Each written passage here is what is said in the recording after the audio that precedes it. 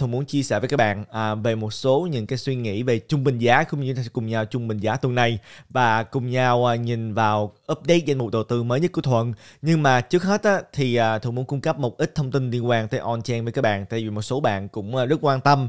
Thì trên màn hình á, đây là tài liệu lớn từ à, Glassnode, đây là tài liệu xem coi là tính theo on-chain thì bao nhiêu Bitcoin đang có lời hiện tại? Thì nếu như mà thường zoom vào đây các bạn sẽ thấy được là tính tới thời điểm này ngày 4 tháng 9 á, thì à, tổng cộng là có 52.8 phần trăm của BTC hiện bây giờ đã đang có lời thực ra rất là thấp. Và mỗi lần mà chúng ta thấy được là cái đường màu cam này đó mà đi vào cái dùng màu xanh lá cây bên dưới này các bạn thấy đó chính là những lúc mà ít hơn 50% của số lượng Bitcoin on-chain này có lời. Thường nơi các bạn nhìn thấy được là những thời điểm đó là thời điểm hồi tháng 3 năm 2020 hay là thời điểm uh, từ lúc chúng ta nhìn vào là tháng 11 của năm 2018 cho đến thời điểm là tháng 2 của năm 19 hay là trước đó là thời điểm uh, từ tháng 10 hay là tháng 9 của năm 2014 mãi cho đến uh, tháng 9 của năm 2015. Những thời điểm này những thời điểm mà các bạn thấy được là rất tốt để mà tích lũy cho nên à, rất nhiều bạn đang chờ đợi xem coi khi nào đó thì à, cái đường màu cam này mới đi vào cái vùng màu xanh lá cây.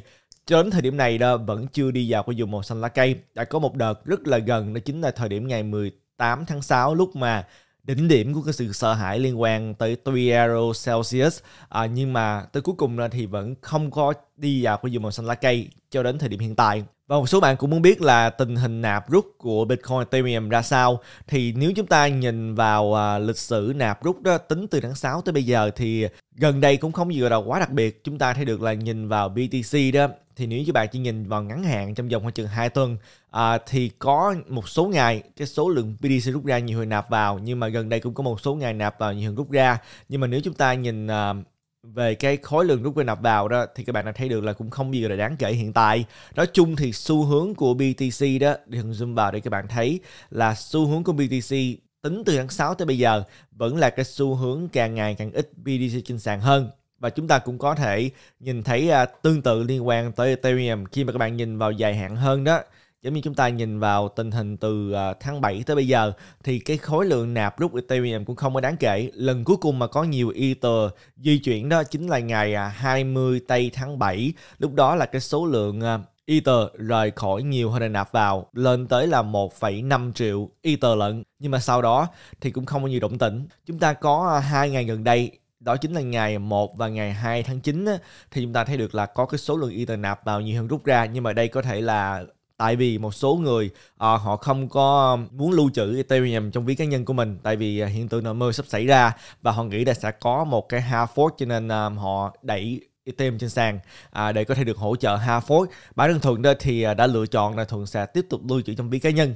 Nếu như mà có một hard fork nào thực sự lớn và được nhiều người ủng hộ đó thì Thuận nghĩ là Ledger hay là Trezor cũng sẽ hỗ trợ mà thôi cho nên Thuận sẽ tiếp tục lưu trữ trong ví cá nhân hiện tại về Ethereum đó thì à, chúng ta cũng thấy là cái số lượng Ether cũng mất đi theo thời gian nhất là cái thời điểm à, ngày 20 tháng 7 mặc dù là giá cả của cả hai Bitcoin và Ethereum à, không được tốt trong vòng mấy tháng qua nhưng mà chúng ta vẫn thấy là tuy giá cả trên sàn không tốt nhưng mà vẫn thấy hiện tượng là sau khi mà giao dịch thì lại có cái số lượng Ether và BTC được rút ra và đem về ví cá nhân rời khỏi sàn giao dịch. Tuy nhiên đối với lại Bitcoin thì nó rõ hơn một chút các bạn thì được là từ tháng 7 tới bây giờ đây chúng ta vẫn thấy là cái hiện tượng là cái đường màu xanh này rõ ràng là có cái xu hướng đi xuống càng càng ít Bitcoin trên sàn hơn.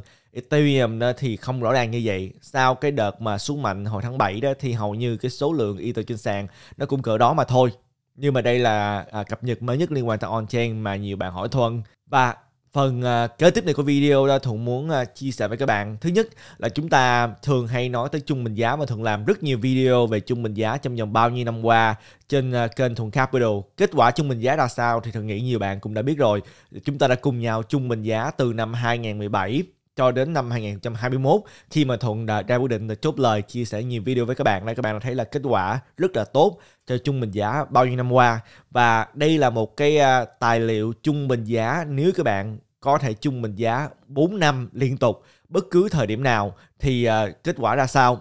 Giống như các bạn nhìn thấy trên màn hình đó, nếu như các bạn trung bình giá vào thứ hai hàng tuần 4 năm liên tục từ năm 2019 đến năm 2022 tính đến hôm nay đó thì cái giá trung bình của các bạn sẽ là 12.083 nếu các bạn trung bình giá vào ngày thứ hai liên tục 4 năm đó và chúng ta tính à, 2018 đến 2021 đó thì giá trung bình các bạn chỉ có 9.312 mà thôi.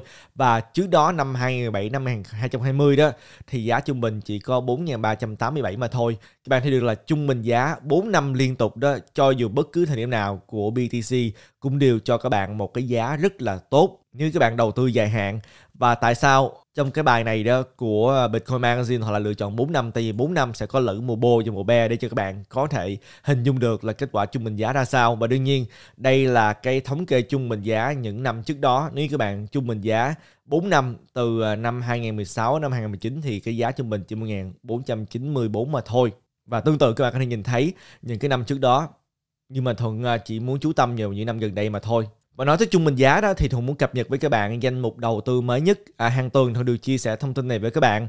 Thì à, hiện bây giờ đó Thuận vẫn tiếp tục à, chú tâm vào BTC à, Thuận sẽ chú tâm vào Ethereum, BNB, Cardano vân vân nhưng mà chưa phải bây giờ. Thì à, cái phần trăm BTC đó trong tổng số đầu tư crypto bây giờ là 53.7% Ethereum thì gần đây tốt hơn BTC cho nên đã tăng lên 25.64 à, BNB là 13.13% Cardano Thuận lưu trữ là 6.65% và một số những đồng khác. Trong đó chúng ta có một ít à, những đồng như là đồng FTT của sàn FTX và thường cũng lưu trữ một ít đồng Matic như là đồng Polygon đó thì à, chỉ tổng cộng có 0.8% mà thôi. Và đây là cái thống kê mới nhất danh mục đầu tư crypto của Thuận. Nói tới là tổng nhân bộ đầu tư đó thì crypto bây giờ chiếm tỷ lệ là 34.3%, Thuận vẫn còn lưu trữ là khoảng chừng 1 phần 3 tiền mặt. Mặc dù là Thuận vẫn tích cực dùng tiền mặt để mà thu mua thêm crypto, nhất là BTC hiện tại, nhưng mà giá cả không được uh, tốt cho nên chúng ta thấy được là tiền mặt vẫn chiếm cái phần trăm cao hơn. Còn cổ phiếu thì Thuận lưu trữ có 3,3% mà thôi, cái tài sản khác thì khoảng là 29% theo yêu cầu của rất nhiều bạn thuận đã đổi cái crypto trở thành màu cam rồi không còn màu đỏ nữa tại vì nhiều bạn không thích màu đỏ và đương nhiên như thường đã chia sẻ đó bây giờ là thường chú tâm vào uh, trung bình giá BTC tại vì là thường muốn có thêm BTC trong danh mục đầu tư. Nhưng mà khi mà thường đổi qua để mà trung bình giá những đồng khác thường sẽ chia sẻ thêm với các bạn. Và đây đương nhiên là update hàng tuần để các bạn theo dõi quá trình đầu tư. Thông tin thì chỉ dùng để mà tham khảo mà thôi, không phải là lời khuyên đầu tư, vì mỗi người sẽ có mỗi vị thế, thời gian và nhu cầu đầu tư khác nhau. Và nên nhớ đó, đây là những cái quy định mà thuận đặt ra cho bản thân của mình. Các bạn có thể theo hay là không theo đó là quy định của từng người mà thôi. Nhưng mà những quy định mà thường luôn nhắc nhở mình, đó chính là thứ nhất, đừng tin ai trong thị trường crypto này. Thứ hai, các bạn nên tự tìm hiểu và chỉ khi nào các bạn tự tìm hiểu các bạn mới có thể có được lòng tin vững chắc mà thôi thứ ba là các bạn tự giữ crypto không nên tin tưởng nhiều quá với cứ một sàn nào hay là ứng dụng nào. Các bạn đã thấy được những hiện tượng gần đây đã xảy ra với những cái ứng dụng như là Celsius, Voyager rồi. Và cũng có rất nhiều sàn bị hack và phá sản trong nhiều bao nhiêu năm qua cho nên từ crypto là tốt nhất. Các bạn nên tìm hiểu làm sao để từ giữ crypto. Và điều kế tiếp là nhớ chúc lời. Các bạn không chúc lời người khác sẽ chúc lời cho các bạn. Và đương nhiên khi mình không chúc lời thuận sẽ chia sẻ với các bạn là thuận sẽ chúc lời. Bây giờ thuận chỉ chú tâm trung bình giá mà thôi. Thời điểm chúc lời là thời điểm thường chia sẻ với các bạn năm ngoái đó, các bạn có thể lên kênh thuận capital để mà xem những cái video đó. Kế tiếp là phân bổ vốn. Các bạn không nên để bất cứ cái số tiền lớn nào vào duy nhất một đồng nào hay là một dự án nào. Các bạn đã thấy là nếu như không, các bạn sẽ hối hận nếu như các bạn lỡ đầu tư vào những dự án như là Luna. Không vay mượn. Chỉ khi nào các bạn không vay mượn thì các bạn mới à, thật sự là không bị áp lực khi các bạn đầu tư nếu các bạn vay mượn đó thị trường lên xuống hàng ngày đã gây áp lực cho các bạn tin tức hàng ngày đã gây cho các bạn lo sợ hay là tham lam thì các bạn vay mượn đó thì vì các bạn vay mượn cái sự lo sợ tham lam hay là áp lực nó sẽ tăng lên rất là nhiều. Và đương nhiên zoom out đầu tư dài hạn là tiêu chỉ đầu tư của thuận. Và chúng ta cũng đã tạo một cái um, danh mục đầu tư demo để thuận và các bạn cùng nhau chung bình giá trong cái danh mục đầu tư demo này. À, để xem kết quả ra sao thì chúng ta chỉ uh, bắt đầu khoảng chừng là hơn 4 tháng trước mà thôi, thì mỗi một tuần chúng ta cùng nhau chung bình giá 100 đô cho BTC và Ethereum. Và các bạn đã biết là trong vòng 4 tháng qua, giá của Bitcoin và Ether đó thì à, không có tốt. Nhưng mà vì trung bình giá đó, tuy là bây giờ vẫn âm, nhưng mà cái âm là 27.84% mà thôi. Thì đương nhiên trung bình giá đó, ít nhất là phải vài năm mới có kết quả được. Chúng ta chỉ mới trung bình giá có 4 tháng mà thôi. Hôm nay Thuận và các bạn sẽ tiếp tục trung bình giá tuần này. Thuận sẽ tiếp tục mua thêm 100 đô BTC và 100 đô BTC đó thì à, chúng ta có thể mua được 0.0051 BTC tính theo giá hiện tại Và cũng tương tự, chúng ta cũng sẽ à, thu mua 100 đô Ethereum mỗi tuần. Thì 100 đô chúng ta có thể mua được là 0.06 ba Ethereum. Thì sẽ bấm submit và chúng ta coi như đã trung bình giá cho tuần này. Và đây tất cả những thông tin mình Thuận muốn chia sẻ với các bạn trong cái video ngày hôm nay. Thuận hy vọng là các bạn nhận được nhiều giá trị trong cái video này. Và những bạn nào mà sống ở Hoa Kỳ đó thì à, Thuận hy vọng là các bạn có một cái ngày lễ vui vẻ. Và những bạn nào muốn tìm hiểu những cái ưu đãi dành riêng cho cộng đồng Thuận Capital thì bấm vào cái link bên dưới cái video này để mà tìm thấy những ưu đãi như là các bạn có thể nhận được bonus hay là giảm phí giao dịch lên tới 20% khi mà tham gia vào những sàn như là sàn Binance, BitGate, Bybit, FTX vân vân và những dịch vụ khác như các bạn nhìn thấy trên màn hình. Và một lần nữa, cảm ơn các bạn đã dành thời gian để mà xem video ngày hôm nay và Thuần sẽ hẹn gặp lại các bạn trong video kế tiếp. Tạm biệt các bạn.